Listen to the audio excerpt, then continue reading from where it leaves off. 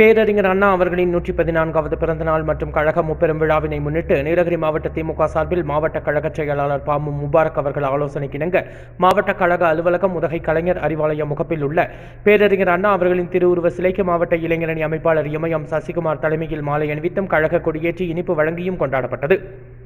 நிகழ்ச்சியில் முன்னாள் உதகை வடக்கு ஒன்றிய செயலாளர் துரை மாவட்ட அணிகளின் அமைப்பாளர்கள் எல்கில் ரவி காந்தல் ரவி செல்வராஜ் உதகை நகராட்சியின் தலைவர் வாணீஸ்வரி மாவட்ட இளைஞரணி துணை அமைப்பாளர் நாகராஜ் உதகை நகர பொருளாளர் அனில்குமார் உதகை நகரமன்ற உறுப்பினர்கள் ரமேஷ் ரகுபதி விஷ்ணு பிரபு கஜேந்திரன் மாவட்ட அணிகளின் துணை அமைப்பாளர்கள் Anthony Matthews LPF Jayaraman market Ravi Raman Thiyagu Jagadish மத்தின் குண்டன் குருஸ் மாதன் சங்கர் இலியாஸ் பொன்சி செல்வம் ராஜம்மா ராஜ்குமார் பாபு உட்பட கழக நிர்வாகிகள் திரளாக கலந்து கொண்டனர்.